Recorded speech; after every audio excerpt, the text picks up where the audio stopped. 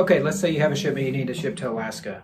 The only thing you need to know is that it is United States, and so therefore you just need a bill of lading. And whether we're shipping it on ocean or over the road or do, through the air freight system, um, basically a bill of lading is all of that we would require. But you know, Alaska is a huge state. There's a lot of territory to cover, and it, it does take a lot of logistics to get the freight there. So depending on the size of the shipment, the weight of the shipment, we have a few different ways that we route it, either by ground through Canada uh, but most of the stuff that we ship, whether it be palletized or truckload freight, moves through Seattle, Washington, and goes on a barge up to the Anchorage uh, area or Fairbanks. Uh, we've shipped to Nome, and there are some other areas up there that we've shipped to. Um, some of the more remote locations are a little tricky and very uh, costly. So, uh, if you have something to Alaska, give us a call. We can definitely help you out and, and get it set up for you, make it as easy as possible for you to um, get the shipment there, get it there as cost effectively as possible, and make it as easy for you to do that. If you like this video, subscribe, like my